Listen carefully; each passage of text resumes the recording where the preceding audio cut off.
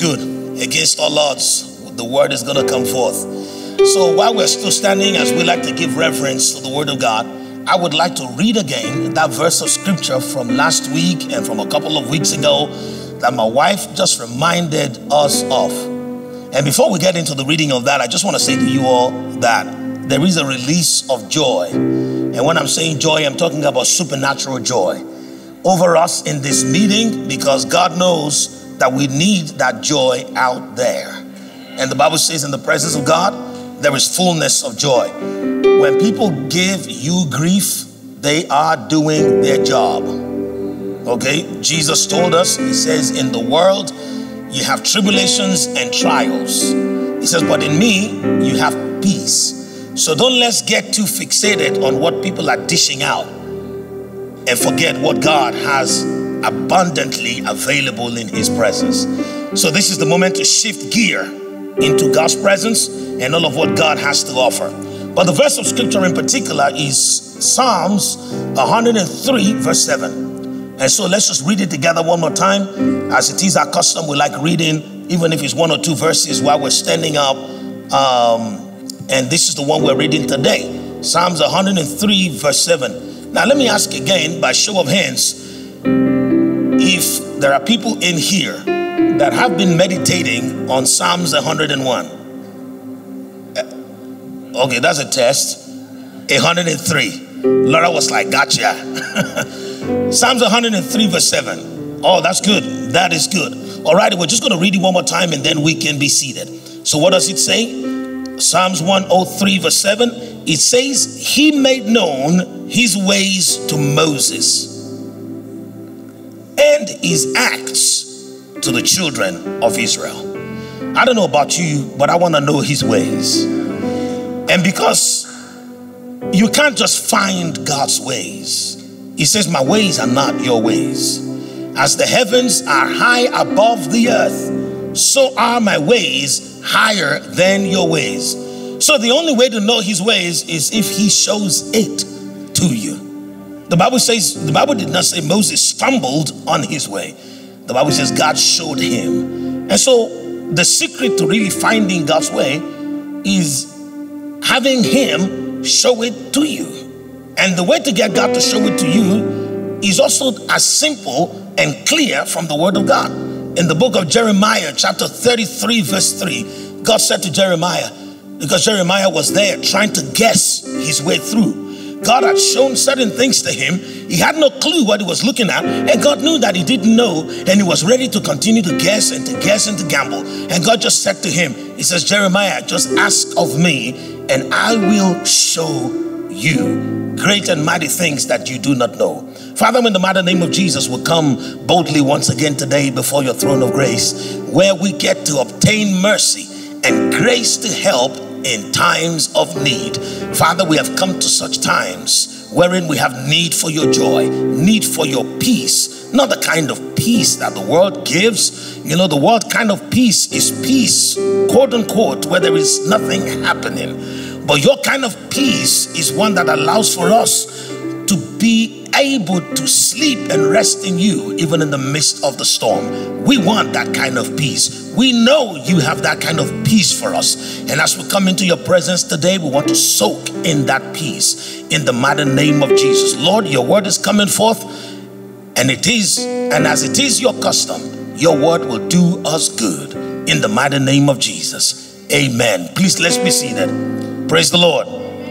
Alrighty. So I'm excited to share with you some of the things that the Lord's revealed to me about these Psalms 103 because the reality of it is we know from the experience of the disciples when Jesus was here that there is always more if you would get closer to God.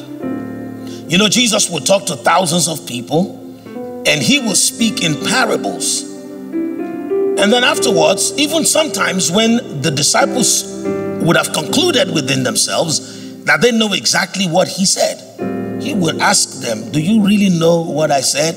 And every now and again, they'll do what they typically do. They'll guess and spit out their assumptions, and then he will pull them even closer and tell them deeper things. It will reveal to them more of the meaning of what he has said. So when God started us on this journey of intimacy, and by, by the journey of intimacy, what I'm referring to is that in the last couple of weeks, God's been inviting us to come closer. He's been saying, Don't just stand from a distance wherein you can see the train of my robe. I want you to come closer so that you can experience the robe of my train. Because remember, the woman with the issue of blood, she had a relationship with the robe of Jesus.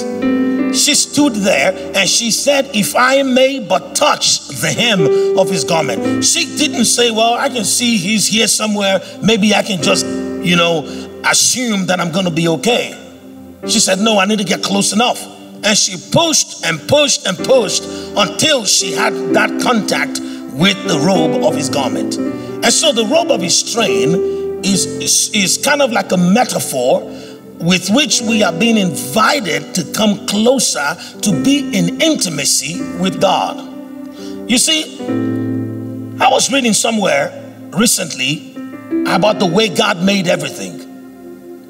You know, the fish in the sea, when God made the fish in the sea, God did not say, Fish, appear. No, He spoke to the sea and He says, Now bring forth an abundance of fish. When he was going to make the trees, he didn't say, okay, let, let us have some things that can hold leaves and hold fruits. No, he spoke to the earth and he says, Earth, bring forth trees that will produce fruits that will carry seed after their kind. But when it was time to make man, what did he do? He spoke to himself.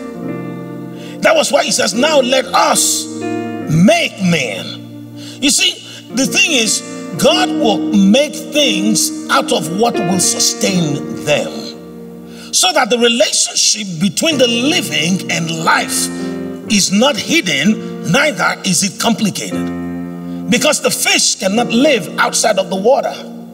The tree cannot survive outside of the ground. And so, man, human beings were not designed by God to survive outside of God. And so when he's calling you into intimacy, it's because he recognizes that you have been too disconnected from the source of life. And so God is inviting us to come closer. He says, I want you to come closer because I have more to give to you. You see, when a tree is growing up or a plant is in the process of becoming a tree, his, its roots are usually on the surface, not more than a few inches into the ground. But then, in order for that tree to be able to, or that plant to become a tree, it needs to keep going down deeper and deeper into the source. Into the source. And so, God is saying, I want you to come closer so that you can get deeper. Not because of what you will give to me, but it's because of what I am ready to give to you. Let me say this, folks. The earth is fine by itself without trees. Before God made trees, the earth was there. The earth was there even before the waters came. That's why the waters are on top. And then the land was beneath. When Solomon was interacting with the wisdom of God, she said that she was possessed first, even before the Lord God made the primal dust of the earth.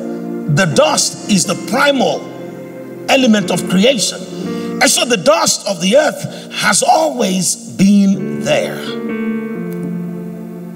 God has always been there. He doesn't need us, we are the ones that need Him. If you find a way to remove all the fish in the sea, the sea will still roar. The sea will still be the sea. So here is the deal many of us approach God when it comes to fulfilling the things that He has commanded with a sense of, oh man, we have to do this because God says so. Almost as if when we do it, we do it for God.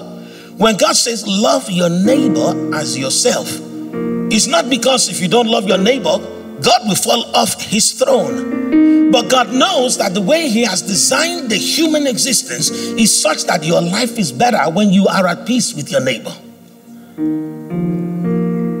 Let me tell you something. Sometimes I'm driving through some neighborhoods and I see people when they're cutting their grass, they make sure that they don't go beyond that line because they don't want to upset their neighbor. And in some cases, it's just because they're lazy and they can't be asked to help somebody else out. But I am thankful to God that the kind of neighbor that I have, when he's cutting his grass and he gets to where mine is, he cuts it too. But he wouldn't do that if he thought to himself or if he thinks of me as a beast who would come out and be roaring like a lion. He knew that I would send him a text, I would make him coffee, I would ask after him because I know that being at peace with my neighbor is the will of God and it has dividends. When God says love your neighbor as yourself, it's because God knows that your neighbor is human and one day they will offend you. And if you don't love them enough, guess what? You will not be able to put up with them. The Bible says love bears all things. I see many parents in the room, and you know that your children do stuff to you that you you you don't even have to forgive them. You just don't get offended because they're your children. If your neighbor were to do half of that, you're calling the cops. You know, if your neighbor were to do half of that, imagine if your neighbor just walks into your kitchen and grabs that mug, your favorite mug with which you have coffee in the morning, and tosses it off the counter, and then it breaks, and then it says, So, what are you gonna do? Oh, you would do a lot. You would get a lawyer after calling the police, you would do a lot. But when your child does it, you're like, Oh, that is so silly. He just broke mommy's little mug. And sometimes maybe they get a little smack, but that's it. By dinner time, you feed them. Your phone doesn't ring, you don't call the police. That is because the love you have for them is unconditional, regardless of what they do. And God is like, if you can love your neighbor like that, you have immuned your heart against the frustration of the foolishness that they may someday do. And it's not just your neighbor that will do foolish things, even you sometimes, you will unknowingly. I say unknowingly because everybody here, we're so perfect. For us to do something silly, it would have to be an accident. You understand what I mean? Uh, you were not supposed to agree, but you did. So come on now. We may have to pray the prayer of humility. You see what I mean? So I just want to encourage you one more time because God is asking us to do things that are primarily beneficial to us. He is not growing God is already the fullness of all of what He will ever be. The Bible says in Colossians that Christ Jesus is the fullness of the Godhead bodily. You know, the significance of what God said there by the Holy Spirit is very huge. He said Jesus is the fullness of the Godhead bodily. So, what that is letting us know is that even the body of Christ that is still being formed is already con- is already a, a representation of the fullness of God. So we think we're growing. Yes, we are growing individually as believers. We are coming together in unity as the body of Christ. But regardless of what we do or what we don't do, God is already saying that I am complete. The Almighty God is complete. He is the fullness of all things. And so, whatever He's asking you to do is not to make Him any better than He is. God never gets better. Because for a thing to get better means there is a comparison, there is progress, there is development. God is not making progress, God is already God. He's already all of what He's going to be, He's already done all of what He's going to do. And so just think about it that why would He come after us again and again with this instruction and that instruction if not for our own benefit? The Bible says that God gave us the scripture that we may be thoroughly furnished unto every good work. So, having that understanding should make it more of a fun thing to do to go after the Lord with all of what you have. Whenever God says to do a thing, David says, In the morning I will arise and I will seek his face, even in the quiet of the morning. And that is because he knew that when God would come to Adam and Eve, God will come in the cool of the evening. Now, You're saying, wait a minute, Brother Moses. David is saying morning, God is saying evening. Yeah, because God's day starts in the evening. Okay? Your day starts in the morning, but his day starts in the evening. And so David is like, if he cares enough about us to come at the beginning of his day, before anybody else gets to occupy God's attention, like the angels or anything else in the cosmos, he will come to the man. David recognized that as the man who actually need that God, I need to go to him at the beginning of my day too before I get occupied. That is the perspective that we need to have when it comes to pursuing God, when it comes to seeking His face. Now, I would say this as a caveat because I know, and my wife actually mentioned it, the majority of people seeking God today are seeking God for selfish reasons. And when I say selfish reasons, I'm not talking about the fact that you want to grow in Him, that you want to find His peace. Many people are seeking God for God to come as a genie to give them things that the world say that they need. Let me say that again very slowly. You know, last night we were having a prayer meeting instead of having the question and answer that we normally have because my wife wasn't available. That was the reason, but eventually we knew that God had something already in mind. So she said, Why don't you go out there and pray? I said, Well, good idea because I was planning to do that on Monday anyway. So I'm going to just do it now. And we asked for prayer requests. And the first prayer request came from Franca in the UK. And she said, I would love to stop sleeping when God is asking me to pray. That really touched my heart. You see, because that was the same prayer point that the Holy Spirit gave to me as I was getting ready for that meeting, that we need to start to rebuke renounce and resist whatever gets in the way of us praying in this season. But what really touched my heart was the fact that she wasn't asking for something material. She wasn't asking for something that is going to benefit the flesh over the spirit. You see, when we seek the things of the spirit and the things of the kingdom, everything else that your flesh needs will come. The Bible says, Seek ye first the kingdom of God and its righteousness, then all of these things shall be added unto you. He said, But the Gentiles, the unbelievers, you know what they do? They seek those things first. And once they're exhausted from seeking things, then they're like, Oh, God, I have time for you now. And by that time, God does not have time for you. You see, because God says, Draw near to me, and I will draw near to you. He says, Seek me while you may find me. Call me while I may be found. So I want to encourage you folks. When we are seeking God, we're not seeking things. We're seeking God genuinely because He has invited us to come closer. So one of the things that we're going to do today, by the grace of God, if I let me let me lend you another verse of scripture. Come with me to Psalms 79. We're going to read Psalm 79. Let's see, I think it's verse 11. Psalm 79 verse 11. It, what does it say? It says, Let the groaning of the prisoner come before you according to the greatness of your power. Preserve those who are appointed to die. The word of God says that even those who are in prison, God is listening. He's listening to their groaning. Now, what about you? Who has the freedom and the liberty to do it without anybody necessarily inconveniencing you? I'm not sure you understand the implication of the fact that God is saying, let even the ones who are in prison, let them grow the ones who are on death row, the ones who have been appointed to die, God is listening to everybody. And why is He listening? Because He knows that there is no hope outside of Him.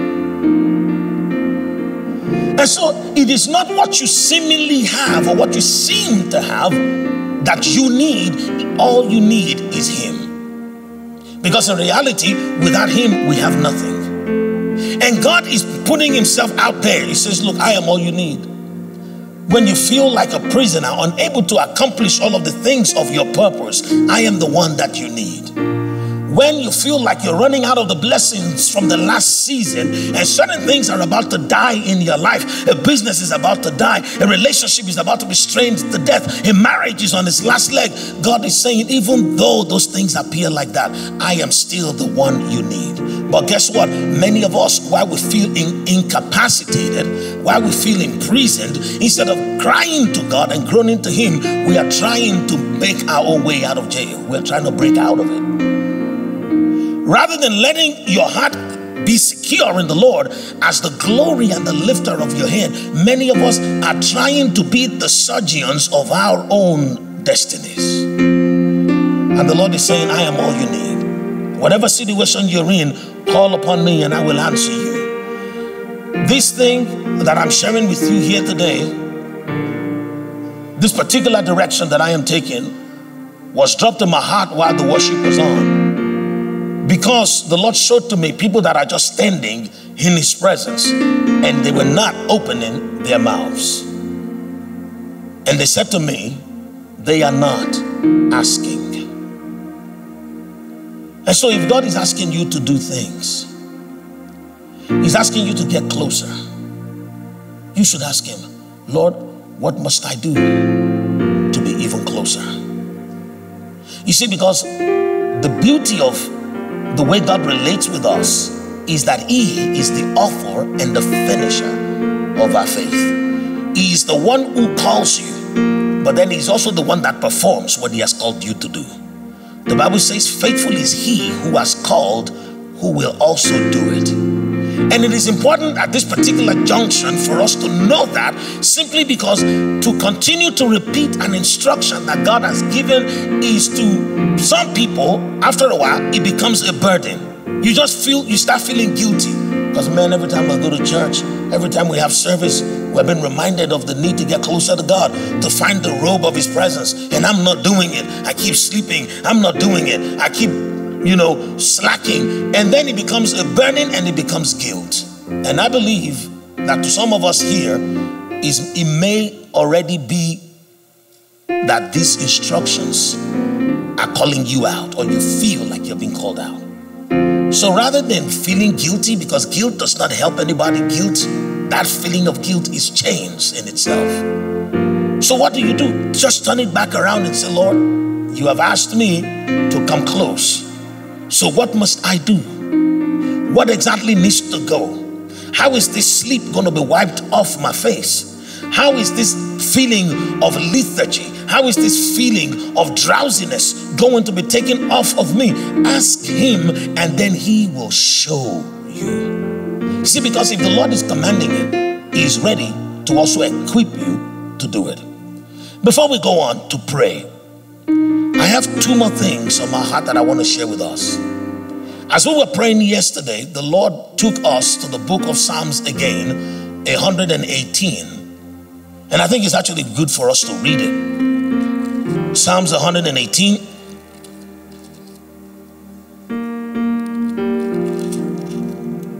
And we read from verse 3. Now, verse 2 says, if I let's let's start from verse 1. The Bible says, Oh, give thanks to the Lord, for he is good, for his mercy endures forever.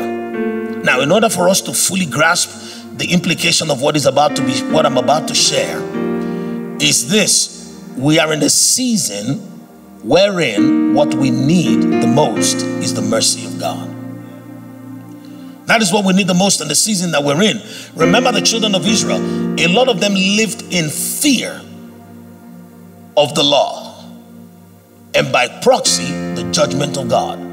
Because God says, Thou shalt not do this, thou shalt not do that. And so all of their thinking was always, I must not break the law. Because when I break the law, what I'm expecting is judgment. Right? And so when Jesus came, Jesus could see all of the pain that they were under that they were going through and all of the burden that they were under. And he wanted to reveal what was in their heart that was bothering them the most. So Jesus would pass a sentence from time to time that made them question if he was truly God. I'll give you an example. There was a woman that was caught in adultery, and they came with stones because they said it is the law of Moses.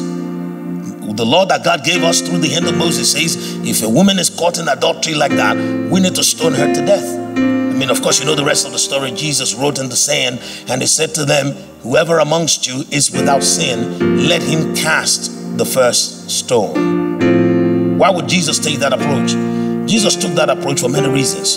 But one of them is because he knows the fear of judgment that was in their heart. To cast a stone is to execute judgment, and even they know that they are unable to stand the judgment of God. So, what did they do? Each one of them dropped a stone. They went back home, but they came again another day, still on the same bandwagon of trying to see the judgment of God on other people, whereas they themselves are afraid of that judgment of God. So, what did Jesus tell them? Jesus said to them, He says, If you know what it means when it was said that God desires mercy over judgment, you will not castigate the guiltless. Because in their minds, everyone's broken the law, everyone's guilty. But they don't want to be the first to go. And that is the reason why they kept pointing to other people. As soon as they see somebody else who has committed sin, they're like, there you go. She committed adultery. We need to come after her.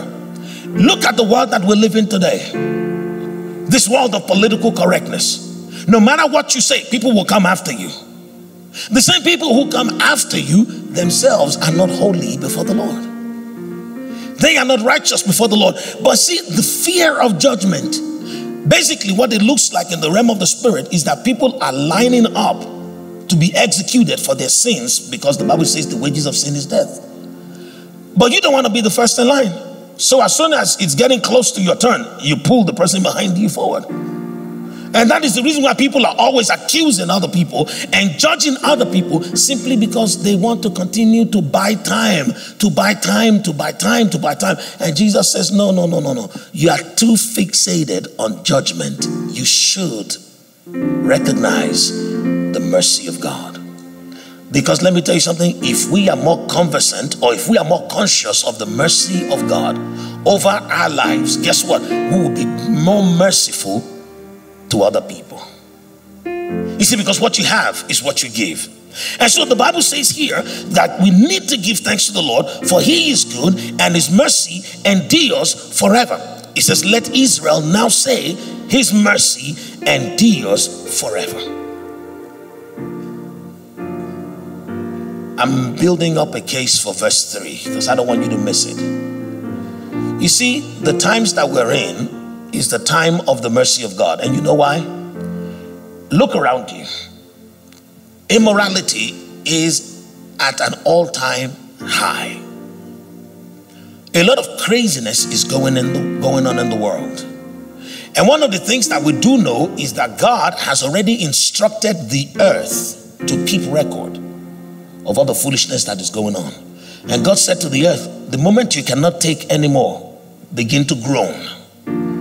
And the earth is already groaning right now. The earthquakes, the increase in seismic activities that we're seeing is because the earth is sending signal home to say, okay, I am about, I've about had enough. Because the earth speaks to God, because there is nothing that God makes that God does not interact with. And I've established that and I've taught you that before, shown you references in scripture. And so here is the deal. We're beginning to see that the earth is about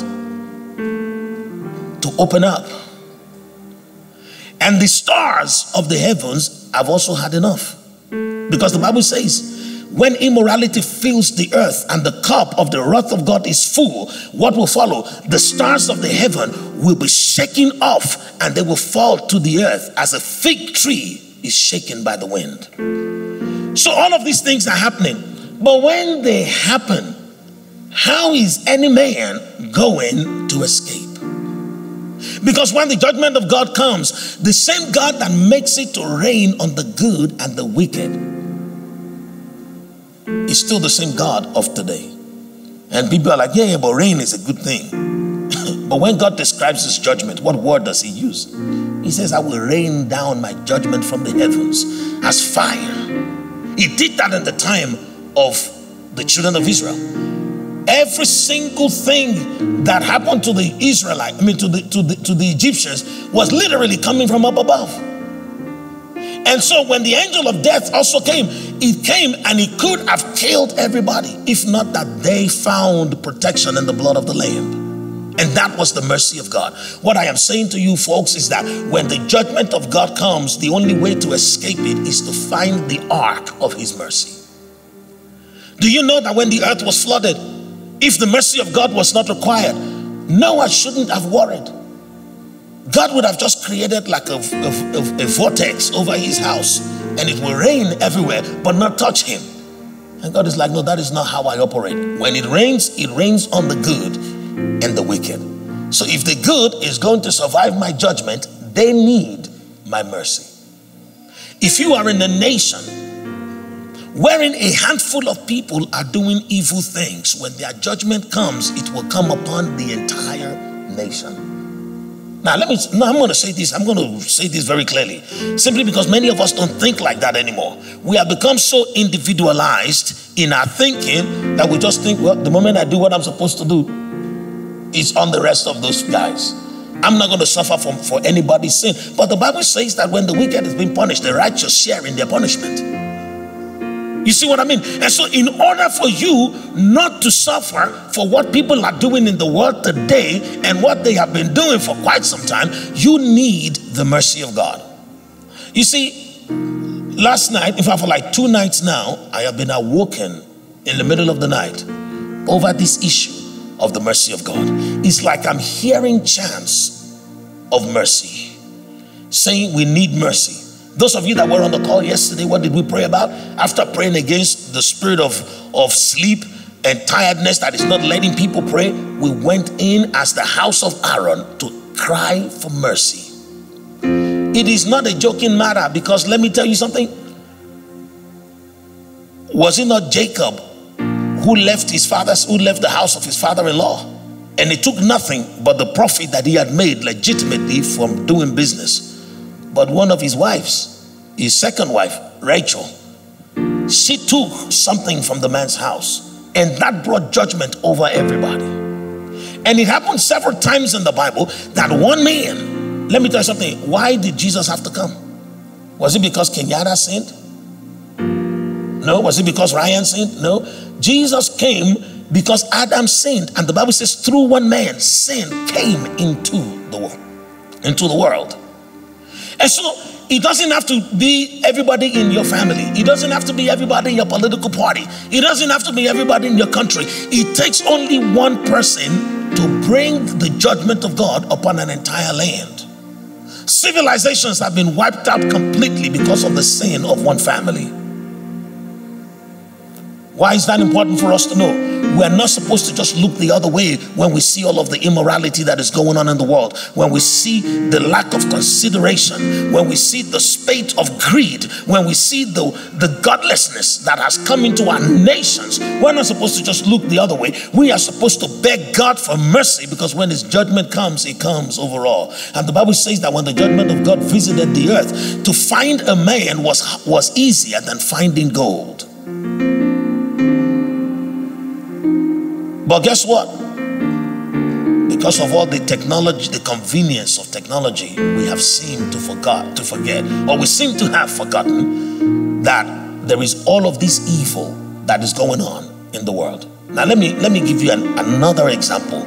There is something that is going on in the world, and even for a while, myself would notice and look the other way until the Holy Spirit drew my attention to it. And I'm like, no, I can't keep looking the other way. And it's the rate at which we're turning out billionaires. The rate at which the world is producing billionaires. And I just felt like, man, these guys, these boys are sharp. They're innovating. They're creating stuff. They need to make all those billions. And so I convinced myself and looked the other way until the Holy Spirit said to me, that is that the will of my Father. And I'm like, uh, no, I don't think so. because the Bible says, an unjust weight is an abomination before the Lord. Now, there will always be poor people. Jesus said it. He says, You will have the poor amongst you always. But then, is there any righteousness in having some people continue to take advantage of the majority and still be praised for it. Don't worry, if you don't know yet, you may know now. I am a strong advocate for the earth becoming a utopia. Because that's what the Bible says. The Bible says that in the thousand years of Jesus' reign, when he returns upon the earth, the sons of God will inherit the earth. We will take over everything, and in righteousness we will rule.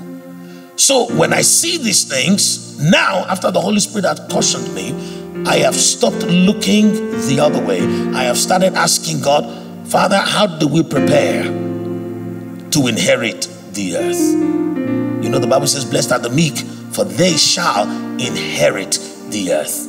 And so it is our inheritance, but the wealthier some people get, the further away from that inheritance the rest of us get. Simply because they keep buying up everything for themselves. Now it is no longer a secret that there are continent sized lands that have been kept by certain families for hundreds of years. They won't even let it appear on the map. And we're like, oh, I've seen everything on Google Earth. No, you haven't. No, because we were looking at one the other day, we saw an ancient map from 1587, and there were continent sized lands. Remember Admiral Byrd of the United States Navy? When he came out on the news, was it 62 or 67, sometime around that time frame? He came out in the news and he said, We have found land that is bigger than North America. He died mysteriously shortly after saying that. Do you think that is a coincidence? But these boys were not even as wealthy as they are now. So now let's think about how many more stuff that they are taking away from us. But if you keep looking the other way, thinking it's none of your business, and you're not asking for mercy, when the judgment of God comes, it will come upon all, you need the mercy of God. We need to cry for the mercy of God. And it is the duty of those people who are believers to do it. When you are a believer, what are you? You are a royal priesthood and a holy nation. You are kings and priests unto your God. When it comes to the mercy of God, even though the mercy of God is infinite and it is forever and it is abundant, look at what the Bible says in verse 3. The Bible says here in verse 3 of Psalms 118, the Bible says, Let the house of Aaron now say, His mercy endures forever. The house of Aaron has to say, His mercy endures forever. If we don't speak forth the mercy of God, the mercy of God is not going to materialize. This is where we need, this is why, in particular, for this season, that we need to understand Psalms 103, verse 7. You see, because some people wonder, why do I have to say? Why do I have to ask for it if God is already, if He's overflowing in mercy? If He knows I need it, let Him just give it to me. Well, if you were God, maybe that's the way you would design your own existence or, or design the world. But the one who created this existence and created the world, he has principles by which he operates. And one of those principles is that you ask to receive. And when it comes to the mercy of God, not just anybody asks for the mercy of God. It is the duty of the priests to ask for the mercy of God on behalf of others. Now let's go back to Psalms 103, verse 7, real quick, and let me just bring out one or two more things. You see, Moses was shown the way of God. But the children of Israel, they were shown what? What did they see? They saw the works of God. God wants to deliver us in this season that we're in from undue restlessness, agitation, sorrow, fear, sadness, all those negative emotions. God wants to deliver us from those things. And the way that He has chosen to do it is to do it by insight and revelation. If you do not know the way of God and you only know the works of God, you can never truly be at peace. Because the way things are in this life are never and I say that again the way things are in this life are never like God said it should be. Look at the ministry of Jesus. When Jesus was here, what did people see? They saw the son of a carpenter who seems to have been able to work some magic. They didn't see him for who he was. Even the people that were in his company, like Philip, they had been with Jesus. They were with Jesus for three and a half years. And close to the end of Jesus' earthly ministry, Jesus was like, If you have seen me, you have seen the Father. And Philip was like, Come on, stop joking. Show us the Father. And he was like, What else can I do? I am standing here, the fullness of the Godhead. So, in the natural, things don't reflect fully the spiritual. Now, let me tell you something before you before you throw your theology out of the window. Eventually, it will line up. But the reason why it is never a full representation of heaven is because heaven is eternity, the earth is in time, and you cannot bring all of eternity to eh, eternity into a particular point in time. Time cannot handle it. So if you are walking based on what has already been worked out, you will be missing out on the things that remain a mystery to your existence. I'll give you an example that many of us can relate with. You know, there are times wherein, Josephine, you feel infirmity in your body. You may be running a fever, and you're thinking to yourself, but the word of God says, by Jesus' stripes, I am healed. That God's name is Jehovah Rapha, the Lord that heals me. What you are asking for is you are asking to see the works of God. Healing is one of the works of God. And so, as long as you're waiting for the works to come to recognize or to appreciate who He is, there will always be a gap in your fulfillment. There would always be a gap in your joy. And that was why the children of Israel in the wilderness, they complained all the time. They complained all the time because all of what was coming out of the mouth of Moses, all of what they had read in scripture, never aligned with wherever they were at. He said that he would not allow their foot to dash against a stone. But here we are, all day long. Even us, we're kicking the stones on purpose because we're just frustrated. They complained all the time because of the fact that they were focused and fixated on the works of God. But Moses knew the way of God. Wouldn't you like to know the way of God? And I think we all should. What is the way of God? Jesus looked at his disciples when he saw that they were perplexed beyond reason. He said to them, Don't look too far. He says, I am the way, the truth, and the life. Let me tell you something, folks. God in this season doesn't want you to remain a works of God knowing Christian only. He wants you to be a way of God knowing believer always. To know the way of God is to have a revelation into what the Word of God says. Because the Word of God is the way, the truth, and the life. The reason why Moses was not complaining like they were complaining was because not only would he hear God, but he will receive revelation and insight into what God wants to do. The moment I have that revelation of what the Word of God says about me, my body may still be shaken with fever, but it's no longer going to rob me of my joy simply because I know that, you know what, whether now or a little later, I am going to recover from this illness. And if you don't get there first by the way of God, you can't fully receive it by the works of God.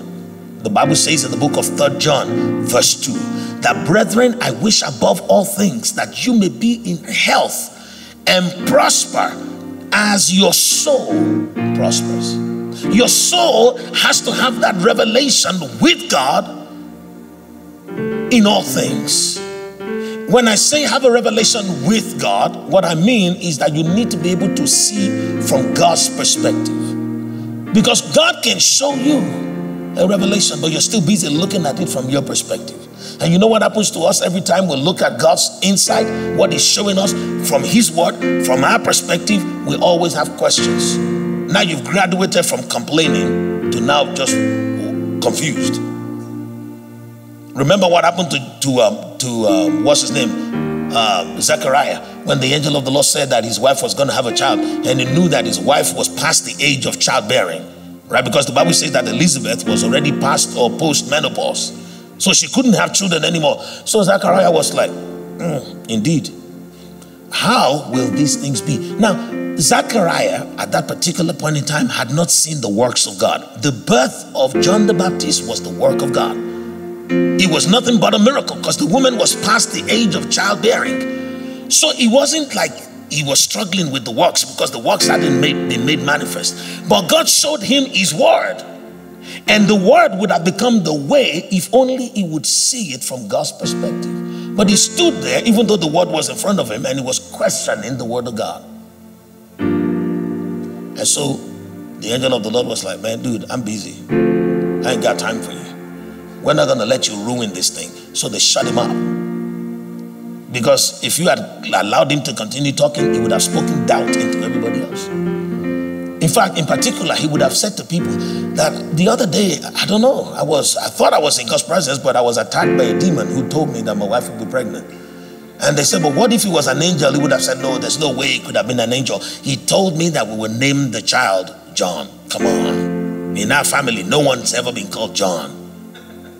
He's, yeah, he says, No, there's no way. You see, because you know that Zechariah was, was a priest of the order of the enforcer. They were the ones who enforced order in the temple.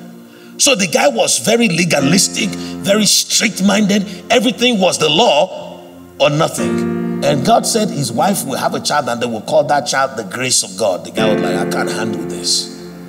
It's not going to happen. So it is very critical for you to be able to receive insight with God, to be on His side by faith, to see what He is showing you. That's when the Word of God becomes to you the truth, the way, and the life. Let me tell you something, folks. Quite often, the reason why we lose our joy and the reason why we're sorrowful is because we cannot see what God already has for us. And in order for you to be able to walk with God and walk in the way, you need to have light. Because the Word of God is what? The lamp unto your feet and the light unto your path. But the Word of God does not automatically come to you as light.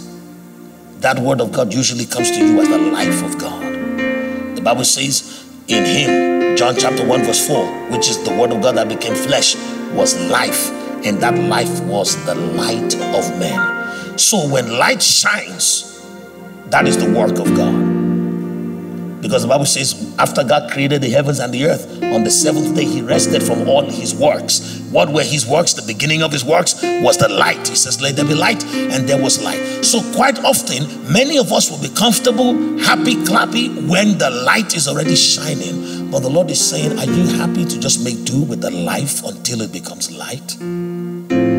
Is your heart able to interact with God by faith until you see things materialize? This is the principle for existing in the last days as a believer. Why? Because in the last days, darkness covers the earth and grows darkness to people. So you need to know how to tap into the light of what is in the mind of God. I'm going to share with you three things very quickly of how to know the way of God. Things that Moses had to learn. Things that Moses had to commit himself to. Three things, just very quickly. Because when you walk out of here today, I don't want you to continue to live with any feeling of deprivation because it breaks the heart of God when us, who are supposed to be His children, pray as though we're missing something. We cry as though we are missing something. We, we speak like unbelievers. When people are talking about what's going on in the economy, are you joining them? like, man, I am struggling. Oh, this and that.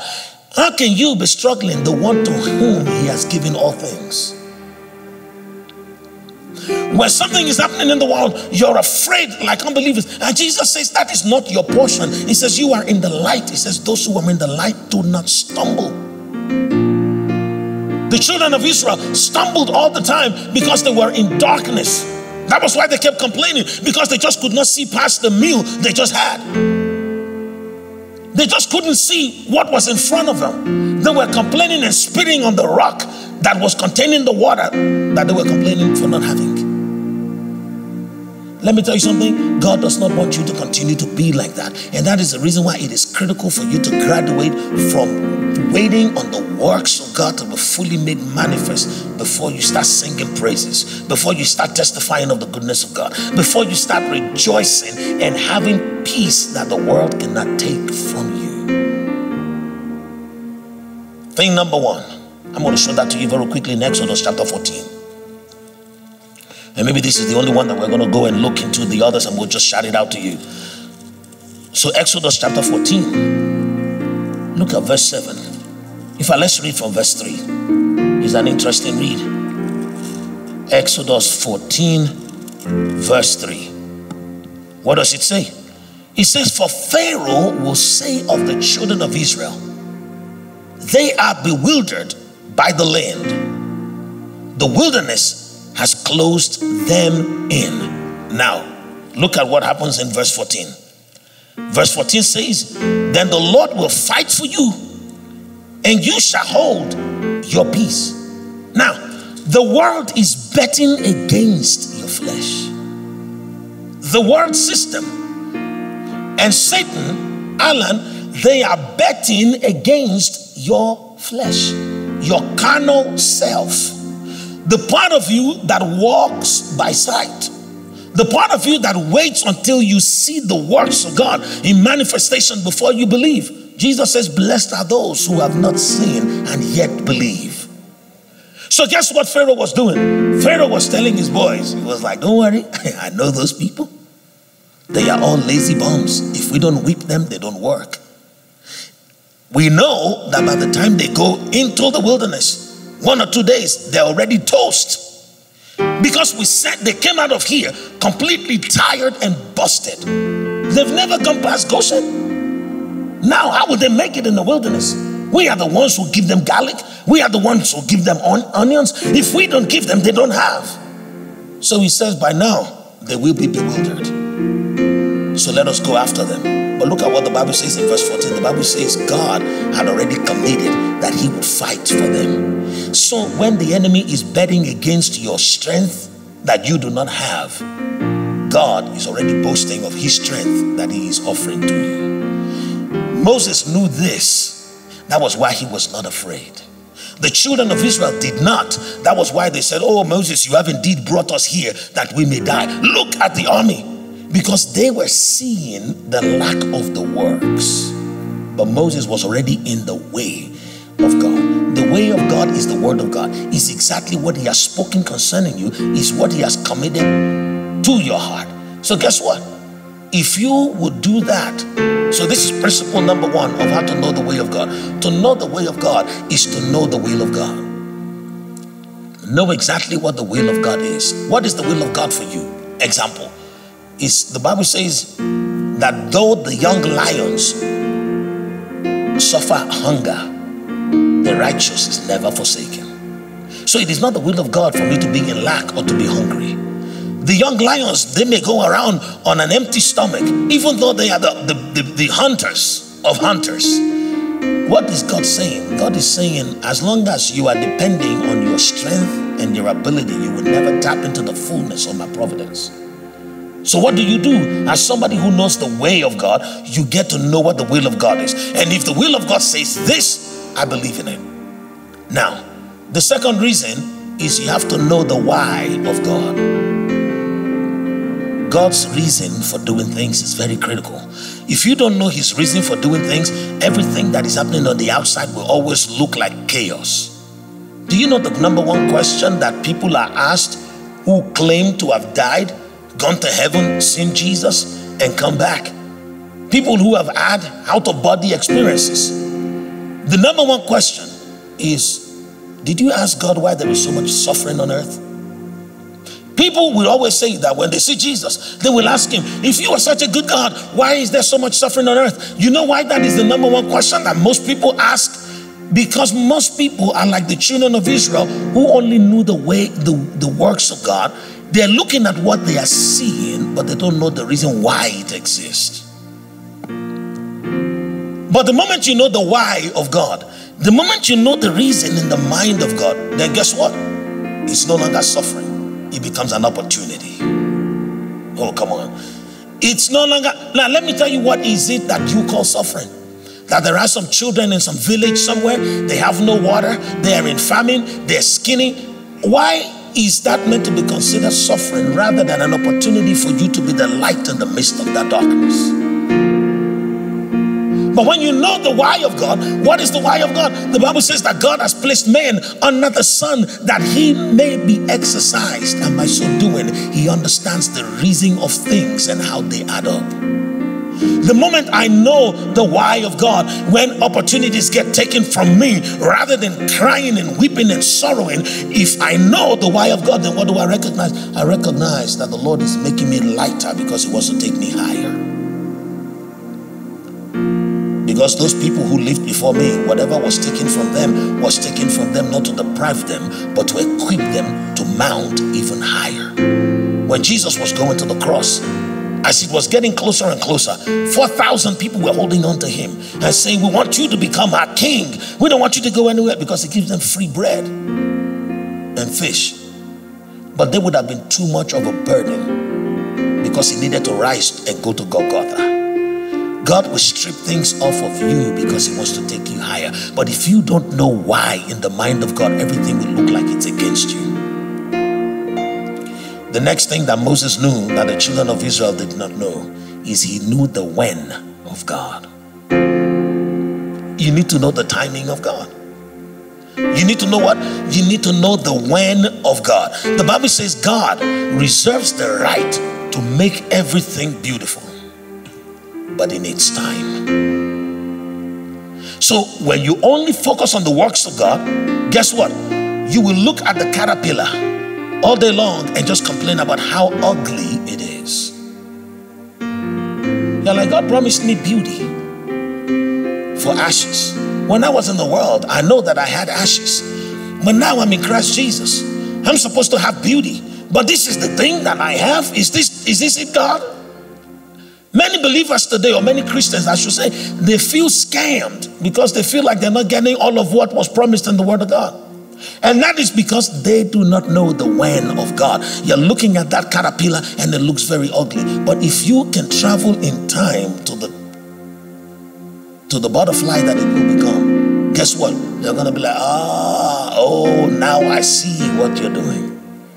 When the children of Israel were going through the wilderness and they had to be thirsty, they didn't know that God was detoxing them from all the poison they ate while they were in Egypt. They thought that God was depriving them. But if only they knew that a time was coming around the corner wherein they would be bathing in milk and stepping on butter. That, yeah, that was the Bible says God was sending them to a land that was flowing with milk and honey. Do you think they would have complained as bitterly as they complained? When Jesus was in the Garden of Gethsemane and the pain of the betrayal was eating him up from the inside, he knew one of his own one of his closest buddies was had just taken money to betray him. He knew that. And the ones who were supposed to be interceding along with him were sleeping like lazy dogs. Betrayed, abandoned by everybody. Even his own siblings were nowhere to be found. Do you know that when Jesus was being crucified, his close family did not show up but his mother? And that was the reason why he committed the care of his mother to John the Beloved. Joseph was not there.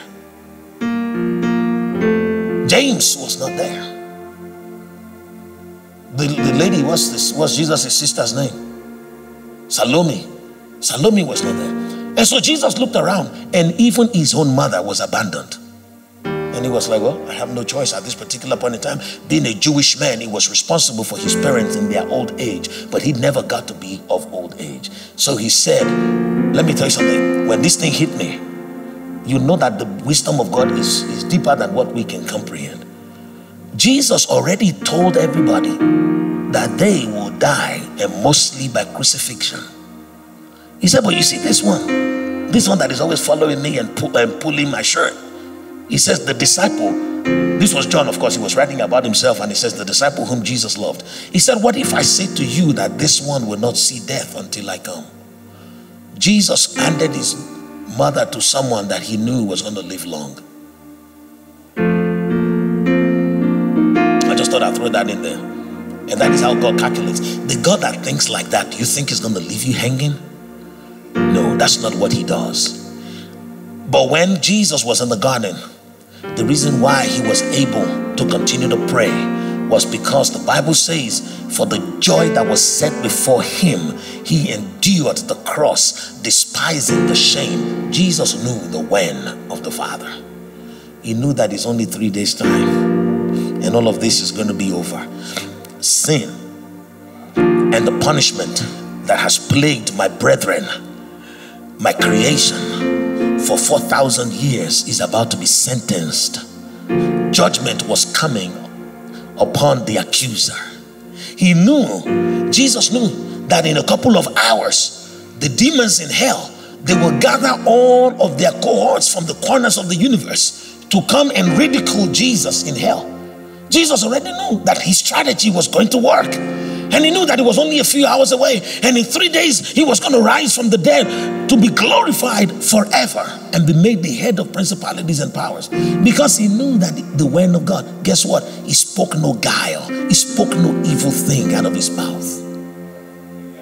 The reason why you, are, you and I are always saying, Oh God, do you not care that I perish? is because you don't know that you're almost at the other side. The reason why some of us we pray, and when we're praying, we're not really praying, we're using religious mindset to complain to God, is because we do not know the when, we do not know when a miracle was actually going to fully drop. You and I, we've been in those situations. You know yourselves. We know those times that we have complained, and the next day God did it. You know, but we're always too happy to go back and say, God, I'm sorry. I could have just waited one day.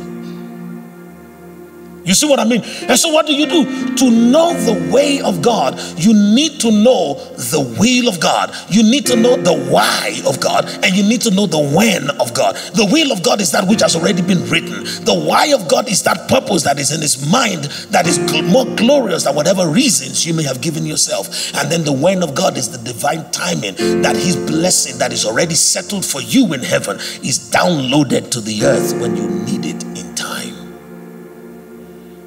The moment you know these things, you're on fire.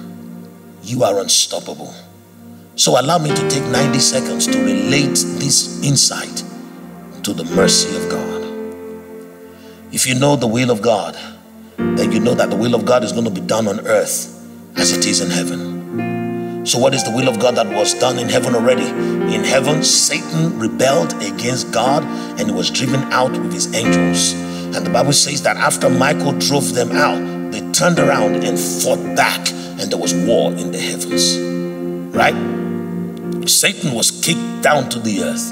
And the Bible says, War unto the inhabitants of the earth, because the accuser of the brethren, that dragon and ancient serpent, has fallen to the earth. So, if the will of God that was done in heaven was that Satan was kicked out by Michael who is a type of the Lord Jesus Christ because his name means like God, Michael. If Michael kicked them out and they fought back, then when Jesus kicked them out, when he went deep down into hell, the Bible says, haven't gone deep down into hell, he spoiled principalities and powers and made an open show of them in it.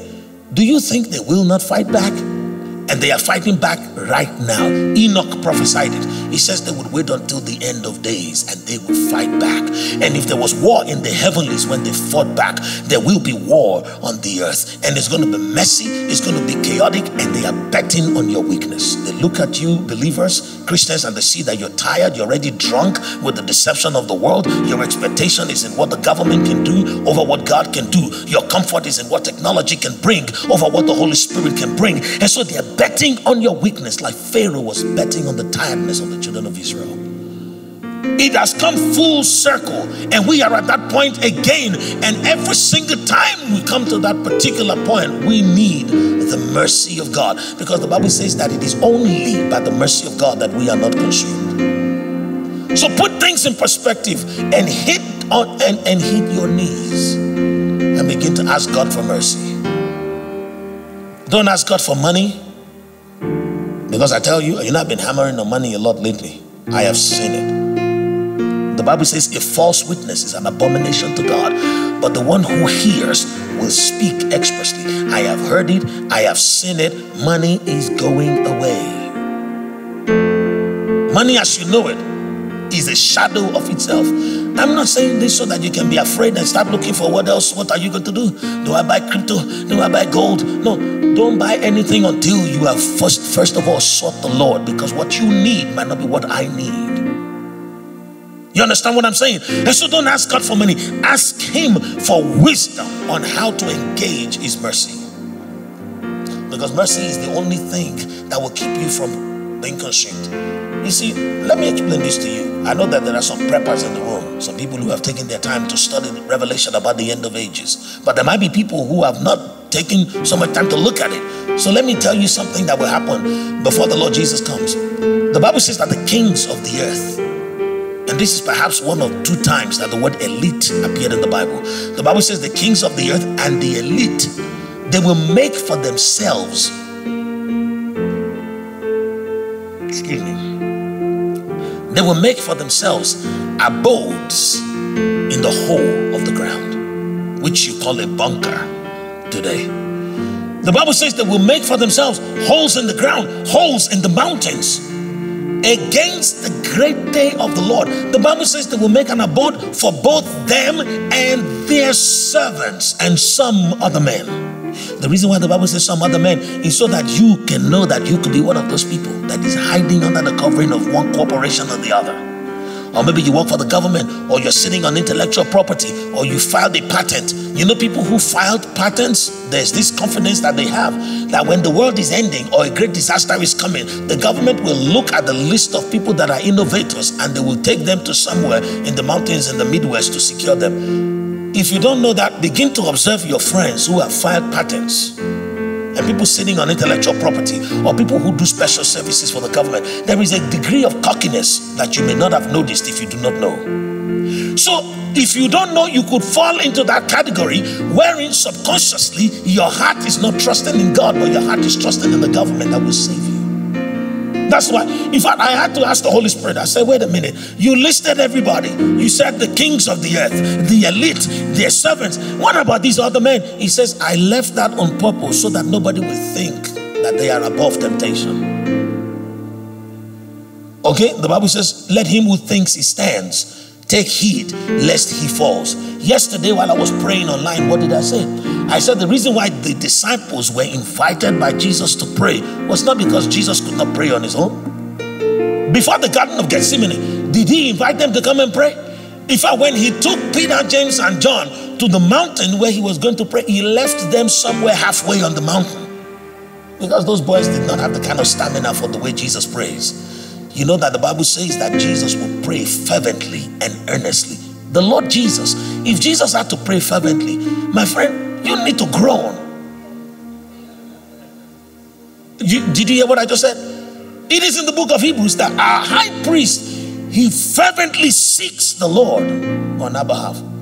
When Jesus prays, Jesus doesn't pray like Father, you know, I know we're cool like that. No. Jesus prays fervently. The Bible says in the book of James that the effectual, fervent prayer of the righteous is what brings results. I said it yesterday, I will say it again today.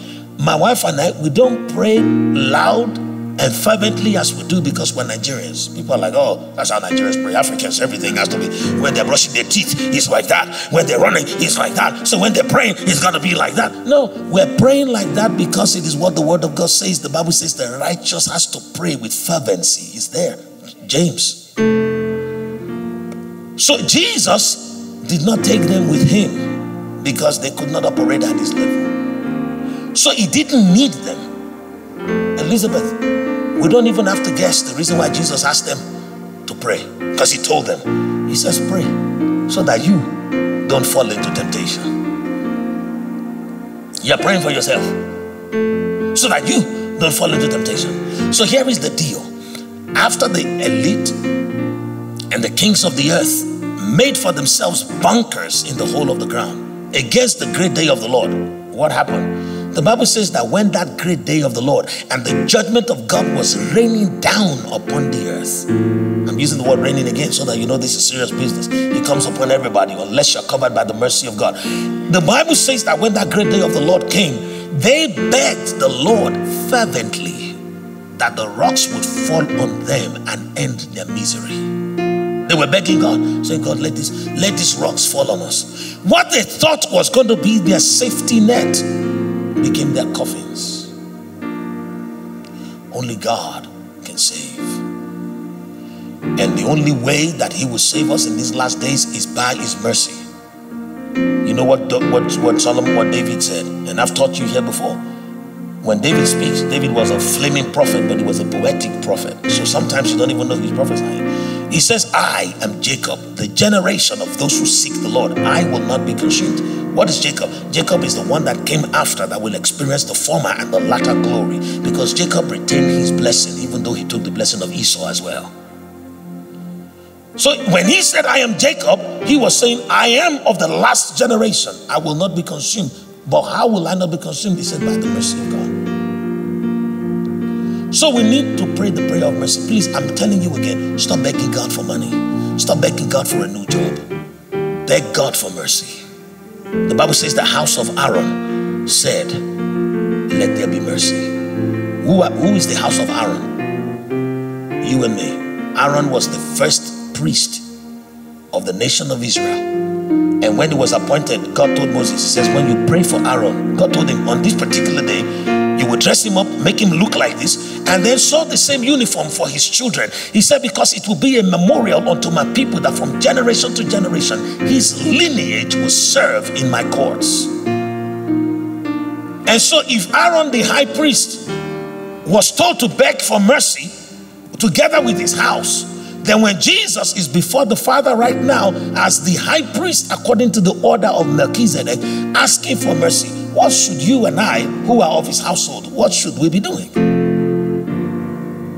We should be asking for mercy because that is what Jesus is doing. Jesus is asking for mercy on our behalf. And the saints that have already gone ahead of us, where are they? The Bible says that they are underneath the altar in the presence of God and they're burning incense. And what are they doing? They're saying, Lord, how much longer will it be before you avenge us on our enemies?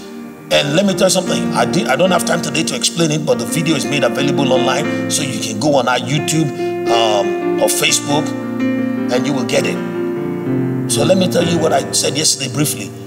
The reason why you ask for mercy and the reason why you burn the incense of mercy is because the timing of the fulfillment of our salvation is dependent on how much we can ask for mercy.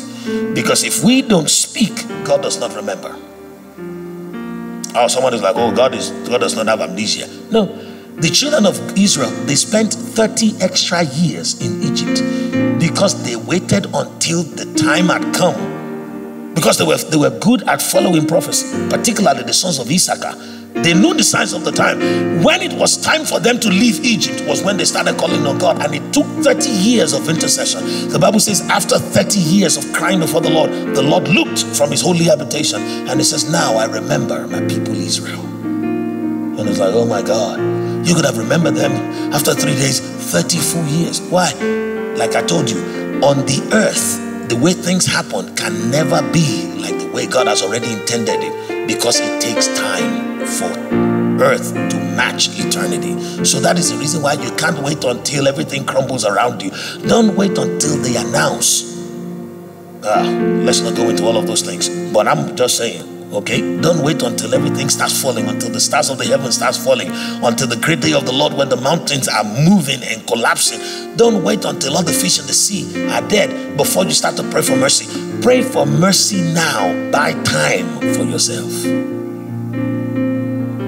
This recommendation was a recommendation that took the apostles a while after Jesus left for them to recognize that, wait a minute, we need the mercy of God to buy the time because the days are evil. The Bible says, buying up the time because the days are evil. So, what does that mean? The days, the evil day is coming. Buy yourself time today and ask God for mercy. I wish I had more time to tell us more stuff, but I'm going to just read to us from Second Corinthians chapter 7, and then we're going to close out the meeting. Alan, did we all get the communion just yet?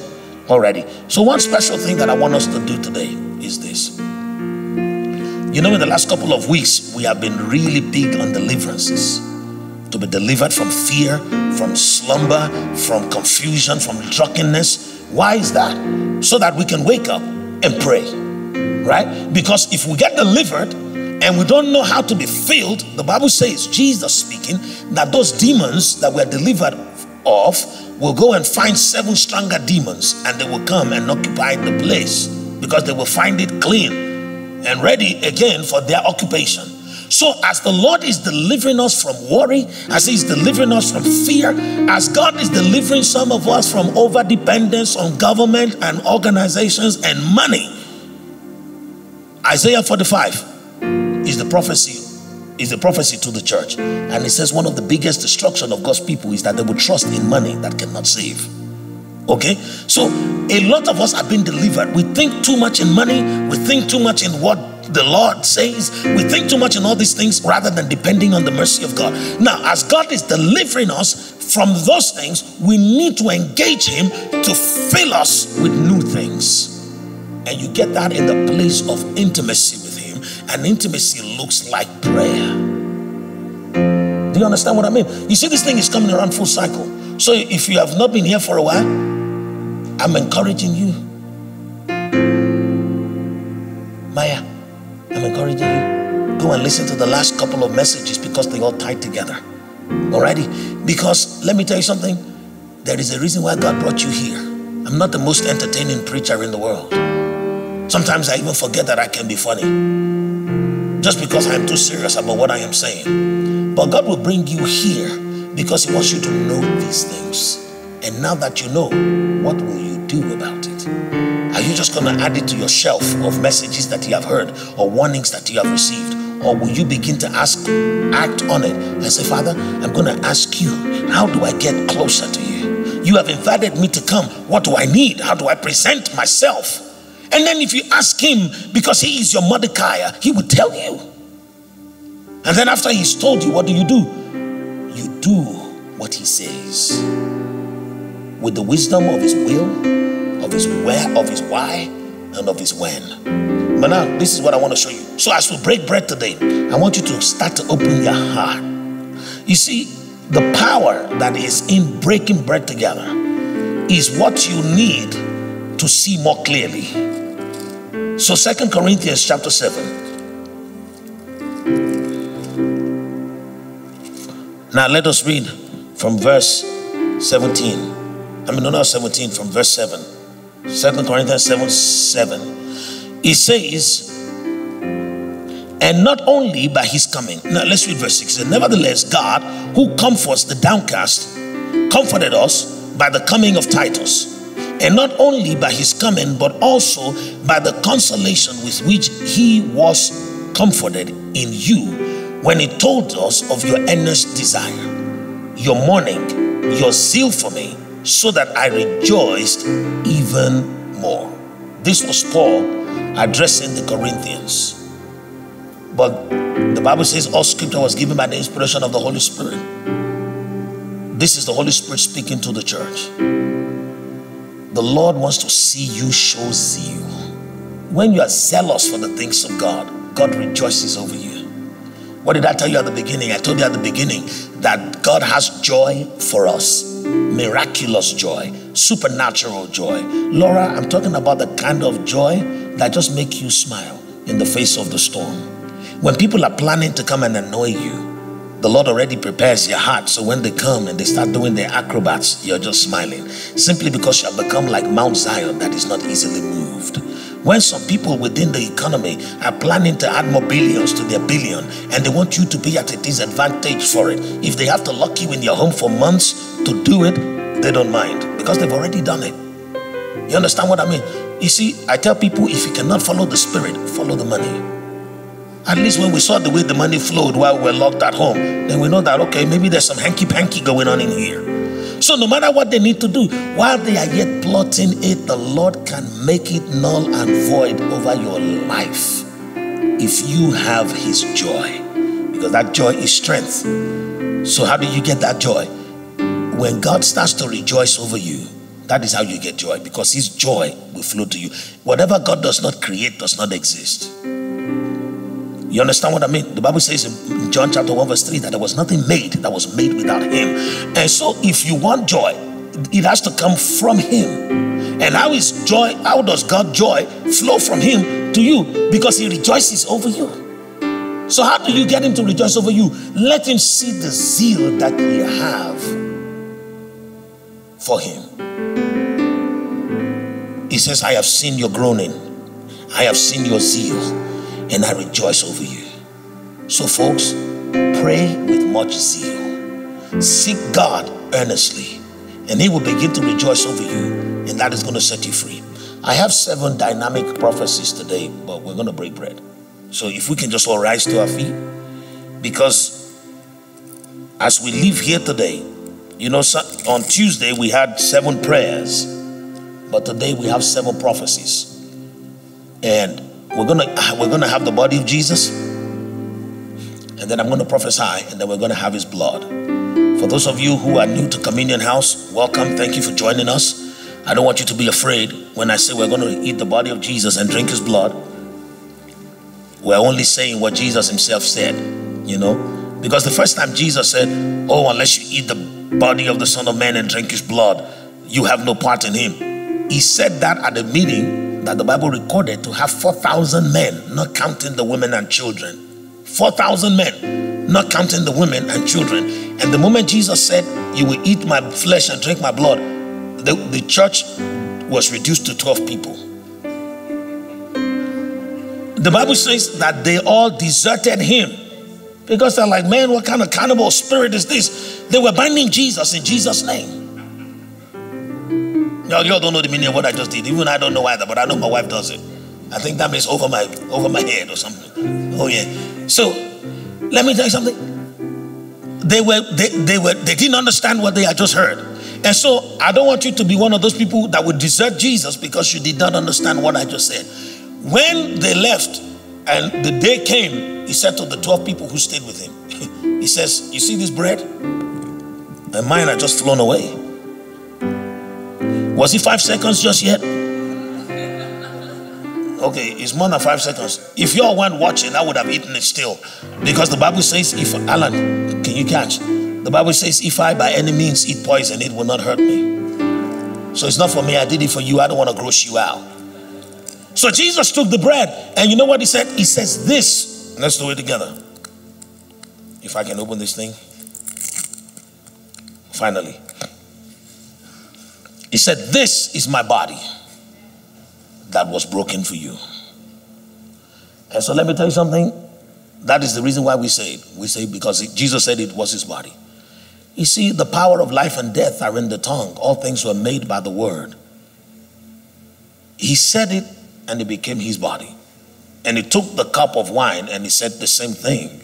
And that also became what he had promised. So today, as we're partaking of the body of Jesus and getting ready to drink his blood, we do so in remembrance of him. We do so boldly because we know that there is power in that mystery. And when himself broke bread after his resurrection with the disciples that were confused about his person, the Bible says the moment he gave them the bread and the wine, the moment he broke bread with them, their eyes were opened, they saw him, and then they saw him no more. The reason why they saw him at first, you know, Jesus says, if you don't have a part, if you don't eat my flesh and drink my blood, you don't have a part in me. So the moment they saw him, the reason why they saw him was because that was on their way to going inside of him. You can only see what you're outside of. Okay? Can you see this building now as you're standing here from outside?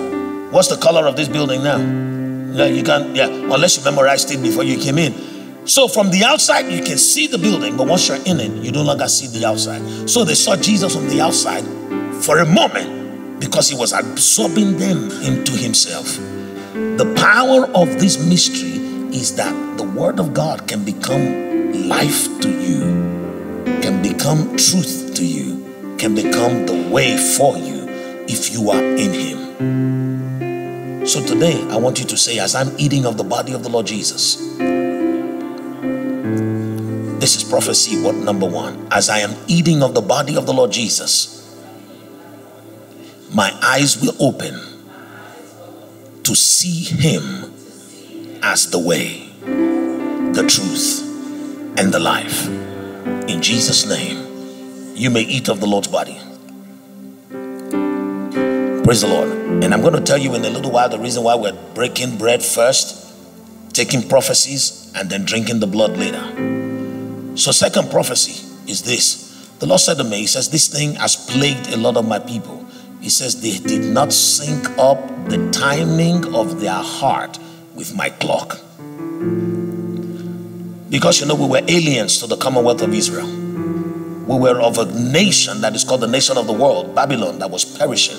And the Bible says he translated us into the kingdom of his dear son.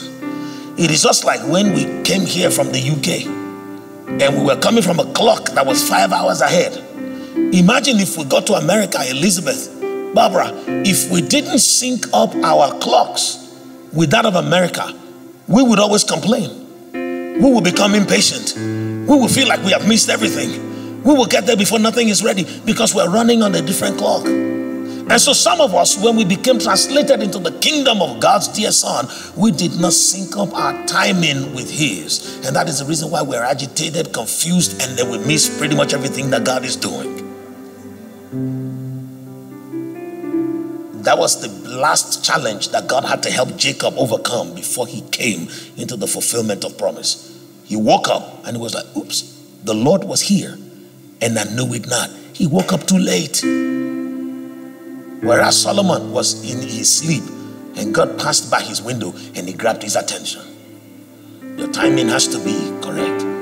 So, Antoine, this prophecy is not a prayer You know, on Tuesday we prayed, but now I'm telling you it's a prophecy. I'm telling you what God is doing for you and I today because we showed up. He is syncing up our hearts with His. And if I were you, I would say, Thank you, Lord. I will bless Him because even though His way is higher than my way, He is syncing me up with His divine timing in the mighty name of Jesus.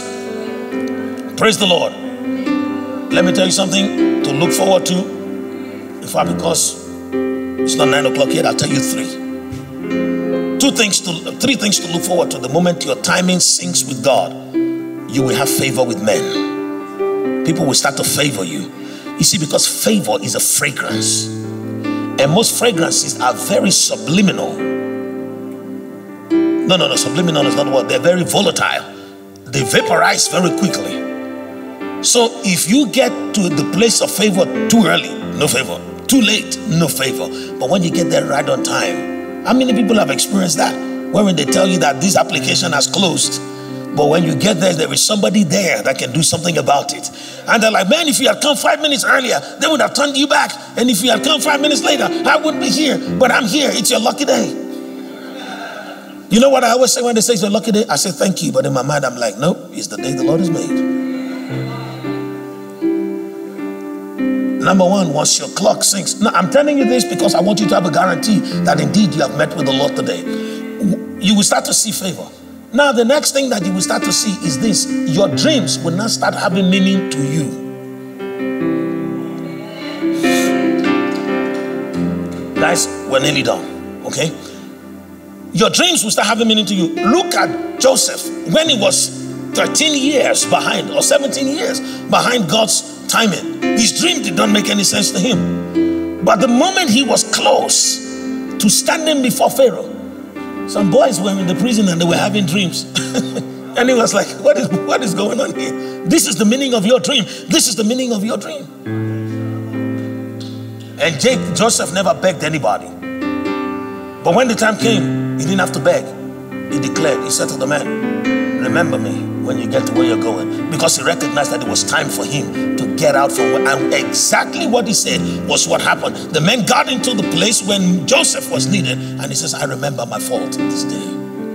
Let me tell you something. The favor of god is upon you because your clock is being synced with his and now your dreams will start to make sense.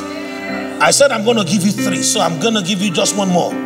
You know the bible says that when the day of pentecost was fully come and they were together in one place and in one accord. There was a sound that came from heaven, and it was as a rushing mighty wind, and the Holy Spirit filled all of them. When your timing is synced with that of God, you will have power. power to cast out dev- devils, power to make peace, power to raise up the sick from their beds and the dead. Because now you are plugged in while God's power for that situation is active. You see, God is doing a great thing among us. And tell the people that were not here that the reason why the devil took advantage of them was because they didn't know how serious this meeting was going to be. But sometimes you don't know. That's why you just show up because you just never know when the angel of the Lord is going to come and stir up the water. So, prophecy number three, very quickly. Have I given you two prophecies already? Prophecy number three. I'm going to combine three and four. You see, the Bible says the Lord is the glory and the lifter of your head. As you have come in here today, you will begin to experience the glory of God. What is the glory of God? Let me explain to you what the glory of God is real quickly. You see, God is light, and light moves very fast. But when the light of God casts an image, that is the glory of God. The glory of God is everything God wants to tell you, painted with the brush of light. So you begin to have insight into exactly how God sees you. Because when you recognize that the way God sees you, He sees you in glory form. That's why the Bible says that we are being changed into that same image and we'll go from one level of glory to another level of glory. Someone says, But why do I need to have a revelation of the glory of God? Because the Bible says God is the glory and the lifter of your head. If you don't see that you are His glory, you will not rise, even though He's trying to lift you. You will see His glory and you will arise. The Bible says, Arise, shine for the glory of the Lord is risen upon you. If you don't understand that just yet, I'll give you an example. The example that I will give to you is that you are in a marriage relationship and that marriage is turbulent and you do not know where the problem is. The Lord will open your eyes to see how you need to be in that marriage for there to be peace. And the moment He shows it to you, you will rise up.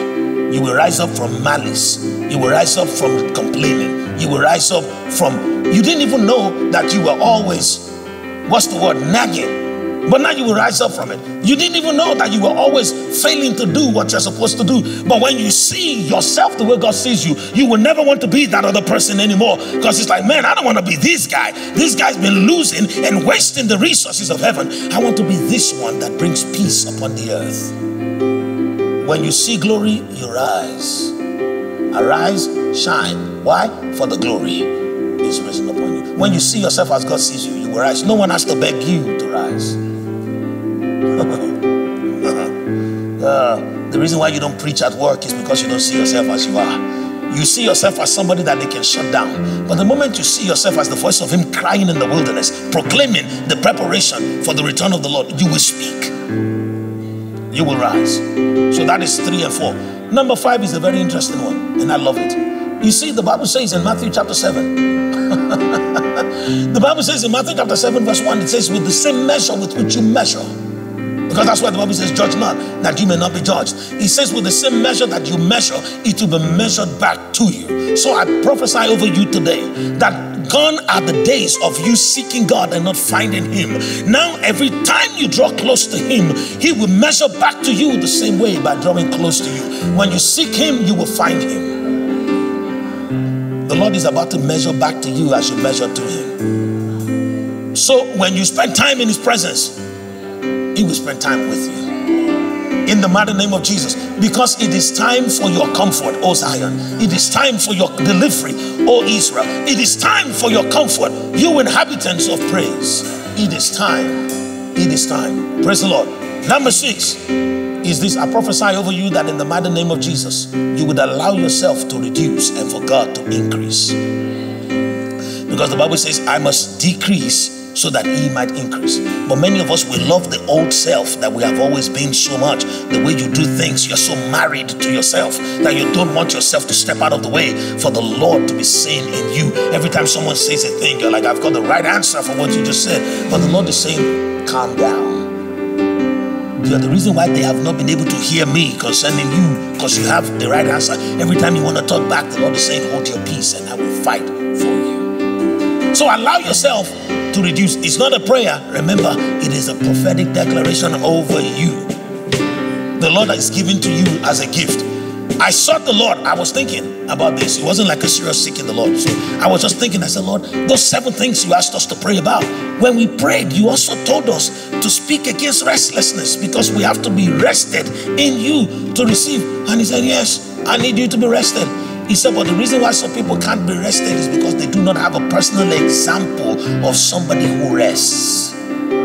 Your father worked all the time, your mother worked all the time. And I'm not talking about having the responsibility of going to work to serve other people, but I'm talking about the fact that their wheels are always spinning. They think they have to solve all of their own problems. And the Lord is saying, I will be your example. So the Lord is saying, I was the first person to rest. And I would now allow them to see me so that they can rest and still be effective. To rest in Him means to let go of every worry and every care. So I prophesy to you that this season will be your season of divine rest in the mighty name of Jesus. Now, the reason why the Lord would have me, first of all, go through the seven prophecies after we've eaten the bread, before we drink the blood, is because you see, where Jesus went to the cross, before his blood was shed, his body was beaten and broken. And the Bible says that the chastisement of our peace was placed upon him you see, every one of those things that I prophesied over you were things that were taken care of because Jesus died, because his body was broken. And so now, when you begin to walk in those things, when you begin to see his example and you go to rest, when you begin to walk in those things to see his glory and arise, allow yourself to rise, you know what's going to happen?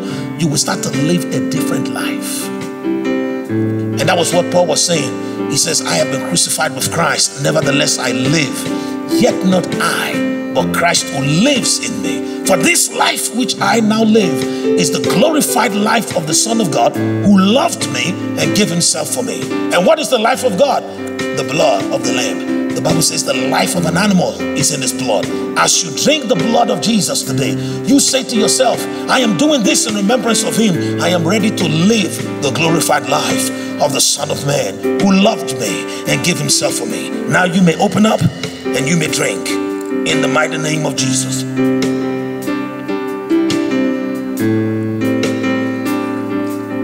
Amen. Amen. Amen. Amen. Let's be seated. But as you're sitting down, I want you to pray. I want you to pray. The most practicum stoyalande. Scandemos to the branda di la babasa. In fact, I want you to say this very quickly. It's only going to take a minute. Laura, stay for this one. I want you to say this. I have heard the word. I will do the word. Help me God. When you say so help me God, you're not just saying it because it's a pledge. You're saying it as a plea to say, God, please help me. I have heard your word and I want to do it. So help me. I'm going to go through a couple of announcements here. But while I'm before I do that, uh, a communion house offering is part of our worship. The Bible says, Honor the Lord your God with your substance and with the first fruit of your increase. I want to encourage you today. We are not raising, we do not raise offerings at communion house for projects or to pay bills. We raise offerings or we receive offerings as a form of worship before the Lord. So don't feel under obligation to give. The Bible says God loves a cheerful giver. So let everyone give as he has proposed in his heart, not grudgingly, not of necessity, because God loves a cheerful giver. Package your offering as a gift, as an appreciation, as an offering before the Lord. And as you are doing that, I'm actually going to do that also. But um, there is this scripture. When I look here, I see it. When I look there, I see it. So I think we have to read it. It's Isaiah chapter 7. Don't worry, I'll just read it to you. Isaiah chapter 7, verse 17. And I pray that the, you will be able to apply the coded message in Isaiah 7 17 this week in the mighty name of Jesus. And this is what it says The Lord will bring the king of Assyria upon you and your people and your father's house, days that have not come since the days that Ephraim departed from Judah. Now, verse 19 says, They will come, and all of them will rest in the desolate valleys and in the clefts of the rocks, and on the thorns, and on all thorns in the pasture. See, the Lord is saying to you that even though they come, He has rest for you. They may come from everywhere, but your heart will not be moved, your heart will not be afraid. So God is letting you know that He already knows that they're coming.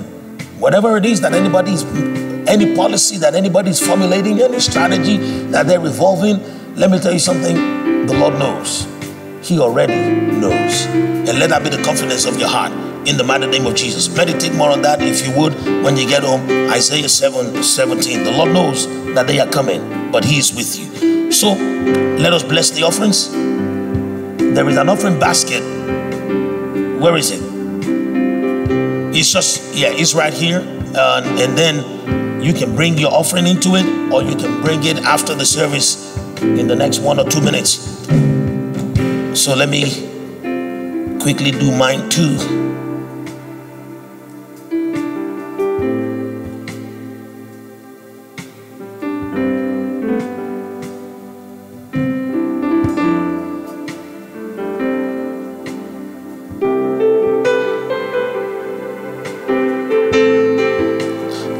It's not that difficult. It's just because for some reason my phone was reconfigured, so I didn't know where my app is. Alrighty. Okay, so if you have just given my phone or you have put an offering in the in the basket, let us pray together and we'll just lift this up. Father, in the mighty name of Jesus, we thank you because you are the one that gives bread to the eater and seed to the sower. Everything that we have, you've given to us. We only bring this as a token of worship, of thanksgiving, of appreciation, and of covenant. And so, Lord, let it all be received before you as a sweet smelling offering in the mighty name of Jesus. Amen. And for this house that is receiving it, Lord, we are thankful and we pray, Lord, that in the mighty name of Jesus, we will continue to see fruitfulness in this house. In Jesus' name, amen. Alrighty. So God is good. The only announcement that I'm going to stress today is well, volunteers, volunteers, volunteers, volunteers. If you want to volunteer for setting up, or you just want to volunteer, I know that some people have indicated that they like to take pictures, they're good at it.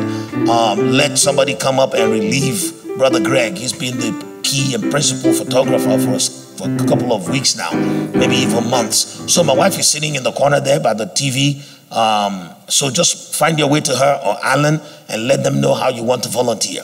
But the announcement that I am stressing is this this Tuesday, I want you to be prepared to come early so that we can start early.